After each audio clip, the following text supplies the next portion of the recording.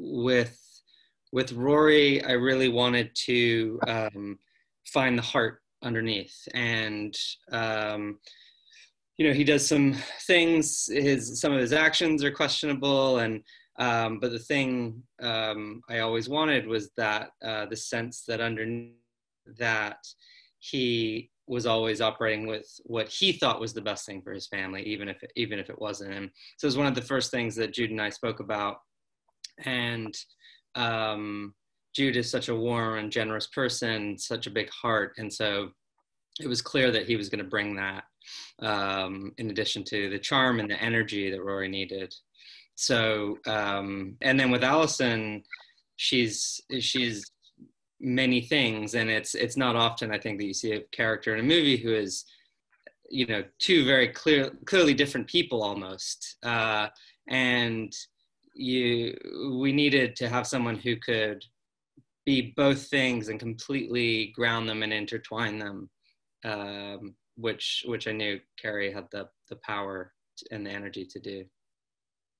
So the the I, I wanted to have a contrast between the two places. I wanted to start off in a house that was very beautiful and cozy and um, and it feel like a very nice comfortable life. Um, but it's just not enough for rory you know and i wanted the move in house to really embody that uh, his dream.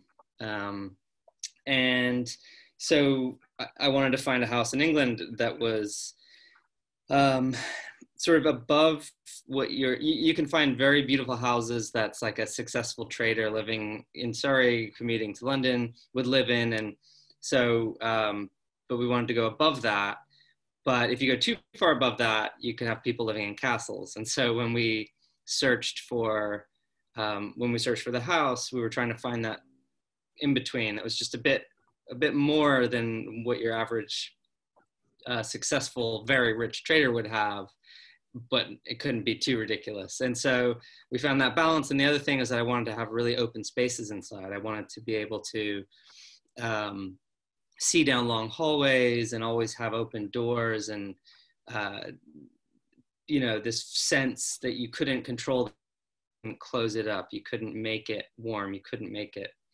cozy. You couldn't. Uh, and so this house had, uh, it's almost every room in the house has two or three doors. And so you can always see outside or see into the next room.